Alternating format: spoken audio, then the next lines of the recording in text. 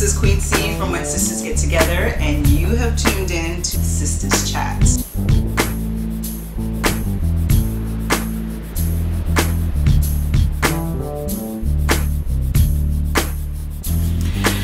Okay, so this is gonna be our last question.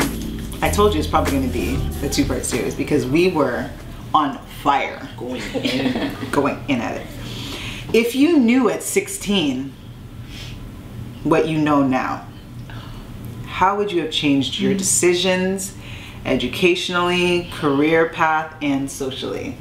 Oh Man, Wow. I would have taken law, taken law, taken law, and taken. oh, I'm serious. I would have taken law. I would have taken real estate. I would have. Oh my goodness! If I knew what I knew at 16. Sound like me. I did education, I did broadcasting. It was broadcasting and law. And I got accepted for both. And I was like, I'm going into radio. And my mom was like, Oh, Toya, you know, that's not a good idea. She was just raining on it. And I was like, I think because of that, I was like, No, I'm going to go do it. And the things that I know now, mm-hmm. if I still stuck with radio, obviously I would have stayed passionate with the whole media, all that stuff. Even now, like I still have an interest for it, but I was so shy back then. Okay. There were so many missed opportunities, so many missed connections now, and I see young people coming up. Not that I'm like bitter or hater or nothing like that. Just I'm like, What? What? What Just was that your opinion? no. okay, so uh, yeah, there's, there's just things that now when I see younger people or other people doing, I'm like, man, I could have done that. Mm. You know? Now I'm doing law. I'm 30 now, and I'm doing law now, and it's just definitely when it comes to education, I would have made some major changes. But I mean, that's what kind of made me who I am today. So now. Um, we had to do some class the other day, and we had to do a power statement on what we bring to the table. And I was listening to everyone else. Like, I got my master's, and I got this, and I got that. And when I went up, I saw people kind of sat up because they're like, "Oh, this is different." Like, I'm going to be paralegal. That's the mm-hmm. program that I'm in. But I'm like, I also have a, a strong background in radio broadcasting, communications, and event planning. Everyone's like, "Oh, this is a little different." So it, it kind of it made me stand out Yeah. more mm-hmm. still. So even though yes, on one hand I would change definitely those the education plateau part of it for sure. It kind of equaled out. Yeah. Worked yeah. out in the end. So made you are today. So. exactly. In terms of me and why I scream law, law, law, law, law, um, I think about my rights. All of the rights I do not know about and how they use them to manipulate people and things of that sort. I wish that I just delved into it because then nobody can take advantage of you. Mm. You know your law, you know your sorry not your laws, your rights. You know how to go about certain things. You know what certain people can and cannot say. You know what they can and cannot do. And these are things they will not tell you because they are afraid to tell you because you can no longer be manipulated by the Yeah. system. Mm-hmm. Mm-hmm. And that by far is one of the biggest reasons why I wish I took certain courses is just so that I don't want to be manipulated by the system. I don't want my man manipulated by the system. Mm-hmm. I want my children especially manipulated by the system. And ooh, those are the that's probably the one thing that I wish I changed um, in terms of being 16 or being in school. Don't forget, it doesn't stop you. You can still True. go Yeah. Very, very true. things, very, very, right? very true. I think for me, um, there's not much I would change. Um, I think my teenagers are really great. They uh, they really um, already they allowed me to kind of get to where I am in regards to like I had all that teen like I was a teen. Like some people in their teenagers, they didn't get to be a teenager. I got to be to a teenager. fast. Yeah, I got to party. I got to, you know what I mean, Yeah. be a teen. And then when it came time to be an adult, I got to transform into an adult. And I mean, growing up, I've always, being the eldest, I've always had to mature quickly, take care of my younger siblings and whatnot. Mm-hmm. But I still, um, it didn't affect that whole part of my year. I didn't feel like I needed to be an adult. I didn't want to be an adult, you know what I mean? But um, one thing I feel like I would change, but just because I love where I am right now, it's hard for me to think that I would change something. That's the whole thing. Like, yeah, I think about going to Humber and taking music. I didn't graduate from Humber, you know, because I was like for me, the second year, I was like, this is crap. Why am I paying for this? You know what I mean? And then I probably could have saved myself OSAP and saved them mm-hmm. calling up my house, telling me I owe them and all these hidden fees and all that crap that the Canadian government does. Because, mm-hmm. yeah, you're not fooling nobody. Mm-hmm. Check out my FB wall. You'll see how many Oh countries goodness. Here we go. there's no fees for their damn education. Hey. So, you know. anyways, thank you. So, Canada wants to talk about their debt. No, talk about the citizens' debts for education. But anyway, that's a whole other story. But um, I feel like that being with my passion for music, I went into music. But it didn't really get me anywhere. Like the education part didn't get me further. But during that time, because I was in Toronto, I was gigging a lot. Mm-hmm. That's what gave me my experience. So it was a mm-hmm. hands-on experience. I think I would also have stayed in French, knowing that my kids were going to be in French immersion. Same here. Yeah. I would have said after grade nine, I would have said no, I'm gonna stay in French, but instead I said one that's. Mm-hmm. I'm taking drama. I'm gonna be on every sports team. I don't need French. I wish I had stayed in French so that I could, you know, school my kids in their français. And I wish I could still do that now again if I want to.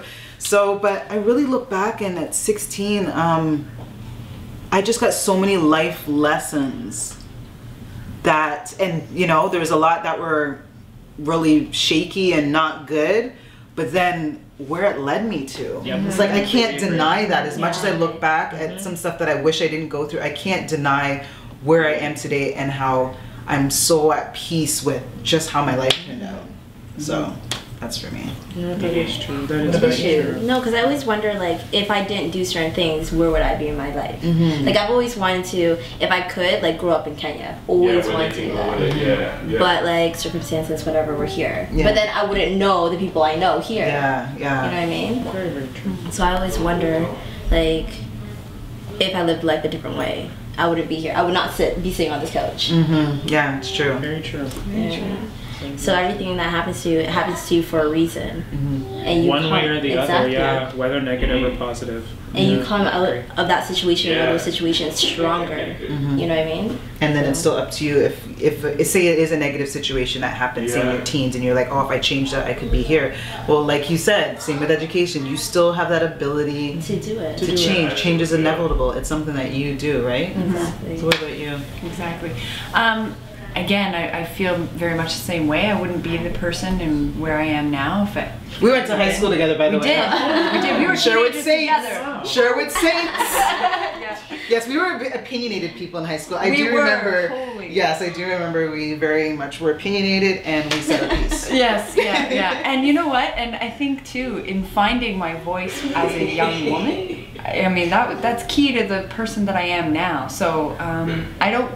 I don't know. I kind of in one it, when it comes to education though, I, I do have to agree there are, there are certain courses of study that I wish I had taken.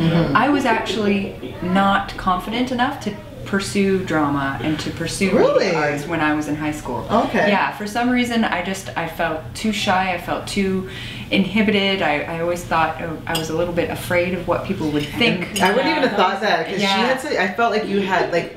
I think when we ended up connecting was through when Facebook.